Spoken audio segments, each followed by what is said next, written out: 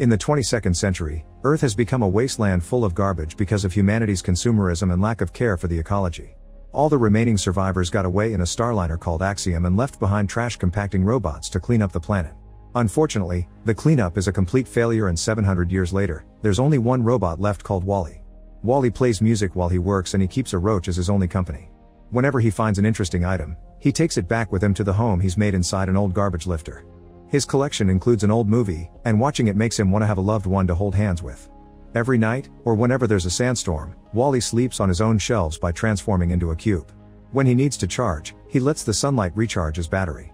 One afternoon, after having some trouble with a fire, McCree makes an effort and finally stands up again, fridge open and is shocked to see a plant. He puts it inside a boot and takes it home, where something new gets his attention. A little red dot appears suddenly on the ground. Wally begins following the moving light around, but soon the dot multiplies, and Wally discovers the lights come from an incoming rocket. He rushes to hide inside a hole and watches the rocket land, then it releases a modern model called Eve before leaving. Eve immediately begins flying around, searching for the object of her mission. Wally immediately begins developing a crush on her and follows her everywhere, although he still gets scared whenever Eve shoots at something because she heard a noise. The roach isn't as scared and actually approaches Eve, who shoots at it before realizing the roach is an innocent creature and befriending it. Eve can't help giggling at the roach walking on her body, and this makes Wally giggle too. As soon as Eve hears him, she shoots, and Wally only manages to save himself by becoming a cube. Eve comes to check on him and when her scanner confirms he's a mere cleaning robot, Eve ignores him and continues her search. Wally doesn't give up and continues to follow her around, trying to impress her with gifts and tricks to no avail. Eve's focused on her search, but she grows frustrated because she can't find anything. When a magnet crane captures her by accident, Eve finally snaps and sets the whole machine on fire. Wally can see she's in a bad mood and approaches her to comfort her, finally gaining her friendship. At that moment, a sandstorm appears nearby. Eve begins panicking, but Wally quickly drags her to his home.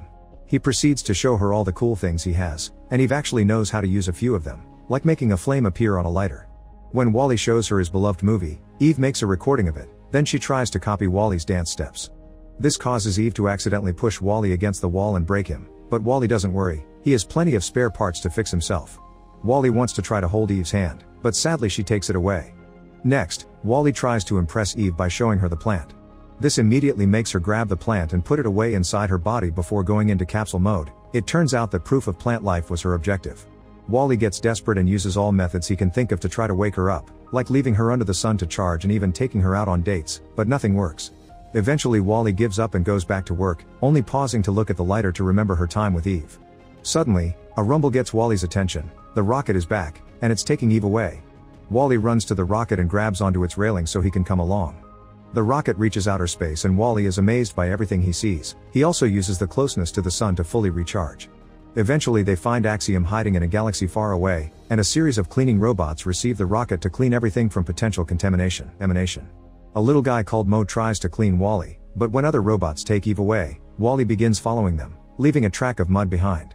This means Mo begins following him too. They make it to a corridor where Wally discovers the reality behind the current state of humanity. They've all become fat and lazy, and they move around on floating chairs, their eyes never leaving the screen. The management of the Starliner, from teaching the babies to cooking, is all done by robots. Wally's presence gets John attention and causes him to fall off his chair, prompting him to finally stop looking at a screen. While a bunch of robots arrives to push John back on his chair, Wally rushes to go after Eve, and to reach her he asks Mary for some room to move. Mary moves back and this causes her to stop looking at the screen too, discovering the world around her as if it was the first time. Wally pretends to be Eve's handler and goes with her to be checked by Otto, the ship's AI autopilot, who does a quick scan and goes to wake the captain up to bring him the news. Captain McCree is also a lazy bum that doesn't leave his chair. Wally hides under the desk to watch him go through the tedious routine of making sure the system is fine. After giving the population the daily announcements, McCree finally wakes Eve up and sees she's got a positive result. This never happened, and when McCree presses the plant button on his panel, a video immediately starts playing. The president of Earth appears on the screen and explains a positive result means the robots have found plant life on Earth, meaning they can go back. The control panel expels a manual that McCree checks for instructions, and while he's busy Wally tries to approach Eve, who is shocked to see him and quickly makes him hide. McCree activates a robot arm to retrieve the plant, but when Eve opens her body, she's shocked to see the plant is gone. Otto says she's probably broken, so McCree calls it a false alarm and cancels the trip to Earth before sending Eve to be repaired. When Wally finally introduces himself to McCree, he shakes his hand and leaves some dirt on the captain's fingers, thus McCree sends him to be cleaned. Once the robots are gone, McCree puts the dirt on the scanner to be analyzed and is surprised by all the things he gets to learn about Earth, so he keeps himself busy asking the AI lots of questions. Eve and Wally arrive at the repair department and Eve is forced into capsule mod with special hardware. Wally almost gets the same treatment, but he dodges the arms and ends up getting a makeover from a faulty beauty assistant. Then, Wally is put in a cage while Eve is given the maintenance treatment. Wally mistakes this for torture, so he breaks the cage with his laser and breaks through the door to rescue Eve. The working robot tries to shoot Wally to stop him, but Wally dodges it and the shot ends up hitting the control panel. This causes all the cages to open, and the robots take the chance to escape. Because they consider Wally their savior, the malfunctioning robots take him with them, and he follows them. When they reach a corridor, a group of guard robots blocks their way and take a picture of them to raise the alarm. The picture appears on all the ship screens, warning the population about rogue robots, and the guards try to arrest them. Eve immediately picks Wally up and flies away, hiding in a window until the guards are gone. Afterward, Eve brings Wally to the elevator, where he tries to be friendly. However, she's so angry about these shenanigans that she shoots a screen to shut him up. When the elevator reaches the hangar, Eve tries to put Wally in a pod to send him back to Earth, but he refuses to go if Eve doesn't come too. Suddenly they hear a noise, and Eve and Wally get into capsule mode to hide. The visitor's a little robot controlled by Otto, who brings the plant to send it back to Earth. Wally rushes into the pod to try to rescue the plant, but at that moment the little guy activates the pod and Wally is launched into space. Eve immediately enters an emergency exit and is launched out too while Wally presses all the buttons to make the pod stop, but he activates the self-destruct sequence instead. Eve watches how the pod explodes and thinks it's all over, but Wally suddenly passes by her using a fire extinguisher as if it was a jetpack. Both robots fly around until they finally get to meet in the middle, and Wally reveals he's managed to save the plant. Eve is so happy that she hugs Wally and pushes their foreheads together, sharing a small spark of electricity that feels that a kiss. Wally is shocked but also delighted by this, and he uses his extinguisher to dance with Eve through space as they make their way back to the ship. This is seen by John and Mary, who are finally enjoying the beautiful view of space, and approaching the window allows them to meet each other for real. Eve and Wally get back on the ship, and Eve sneaks around to avoid the guards, leaving Wally behind. She reaches the captain's room safely and hands the plant to McCree, who gets excited because now they can return to Earth. Eve interrupts him to show him the recording she took of the planet, and McCree's disappointed to see Earth isn't the beautiful place he saw in the old pictures. However, when Eve plays Wally's old movie too, the sound of music brings back some hope, and McCree decides that if the little plant didn't give up, he shouldn't either. The movie reaches the part about the handholding and Eve begins thinking about it too, especially when the recording suddenly shows her all the things Wally did for her while she was asleep. Meanwhile Wally tries to go looking for Eve by entering a trash chute, and Mo follows him. The captain tries to order the ship to return to Earth, but Otto stops him and asks for the plant. McCree refuses and demands an explanation, thus Otto plays another video. The president of Earth announces the cleanup program was a failure and that toxicity levels make life unsustainable on Earth. This means the project to recolonize is cancelled, and Directive A113 puts the ship on eternal autopilot so humans can stay in space. Otto is loyal to A113 and that's why it had taken the plant from Eve when it checked on her the first time.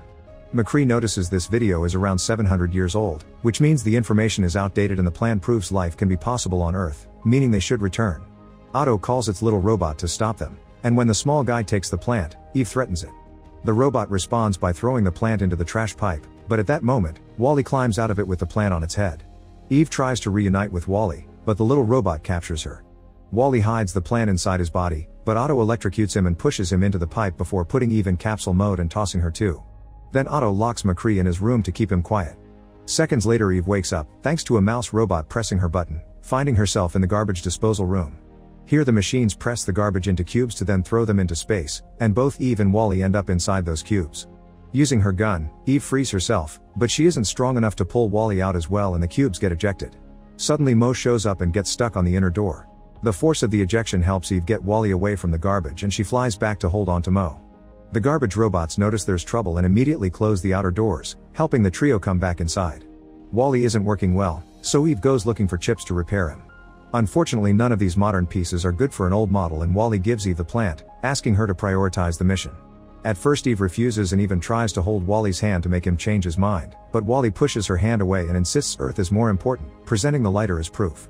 Eve realizes Earth will have the necessary parts to fix him, thus she grabs everyone and flies back into the main area of the ship. A guard sees them and raises the alarm, but Eve pushes it away and keeps going while the other rogue robots follow her.